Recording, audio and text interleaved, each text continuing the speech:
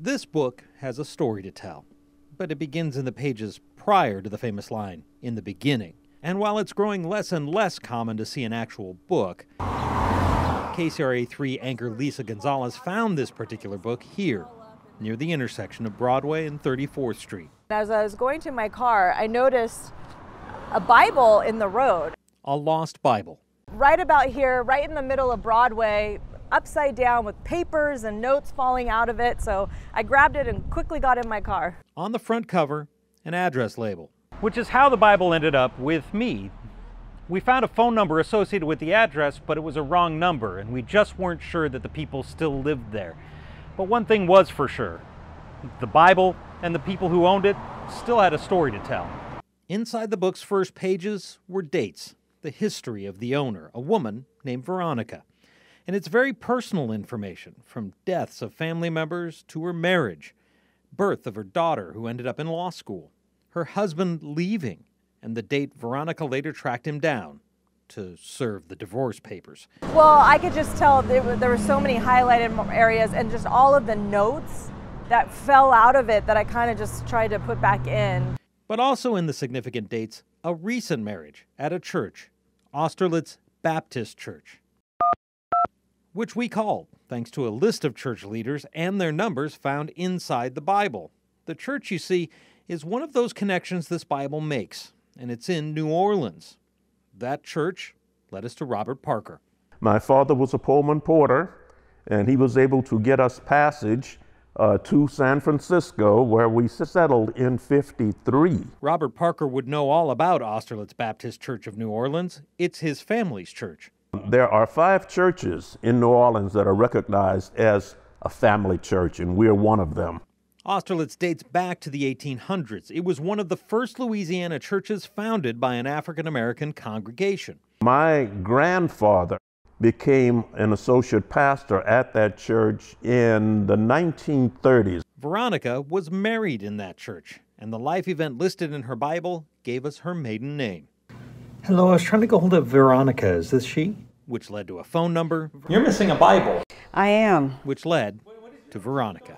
I noticed it was gone the next day.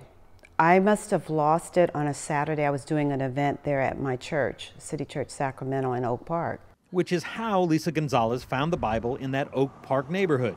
For a week, Veronica had been searching everywhere for it. I thought, well, I had left it in my husband's car, or I left it in my study or my car, um, but it just was not there. And so all week long, I kept looking and asking and emailing people, Have you seen my Bible? She did forgive us for reading her personal history, and it is personal. After all, it brought her Bible back to her. It is well worn. But it must feel good having it back in your hands. It, it does. Thank you. As you read, um, it, there were ups and downs, as everyone has. But this Bible had a lot more to say, more than even its dog eared pages revealed. It's traveled the world with Veronica. I've been to Honduras with it, Guatemala, Peru. Um, so I, you know, Mexico. I mean, I've been places with this Bible, Hawaii. And so uh, it just meant a lot. It meant so much to me. And those trips were mission trips taken throughout the years, helping dig wells for clean water. In my instance, I um, just taught the women and the children in the village about water hygiene. Trips with the man listed in the significant events in that Bible. I came to Sacramento in 2010. At that time, I was working for Assembly Member Noreen Evans, okay. who had just won a, a state Senate seat. And working in Sacramento, she was able to meet the man she'd had a date with once when she lived in Vallejo. Well, actually, it was a blind date. That's right, Robert Parker. The same Robert Parker whose family church is Austerlitz Baptist Church in New Orleans is Veronica's husband. She wanted to get married there, and uh, I asked my cousin, who is the pastor there, and he was delighted to have us, and of course, the family welcomed us to come there. And Robert even remembers the day Veronica lost her Bible.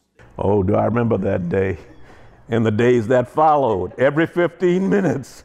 Have you found my Bible yet? I really felt like I had lost a piece of me because there were significant dates, family members who had passed on my mother, my father, my uncle um, you know, um, marriages, births, divorces. I'm glad you have your Bible.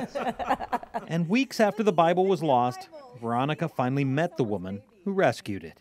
There is a, a legacy, um, a lineage, a connecting the dots, you know, if you will, for other people to come and find and look. which also brought a number of people together, something the Parkers don't think is a coincidence. And not only has it, the book come back, but I've met another set of people who I now have a connection with.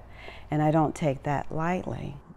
It, it bolsters my divine faith because this didn't just happen. There's no circumstance here, there's no serendipity. All of this was meant to be, and I see that clearly. Normally, we tell the stories.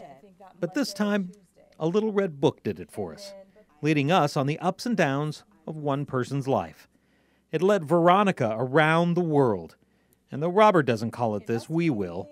It led to a serendipitous meeting with two journalists who just happened to be storytellers eager to tell her tale.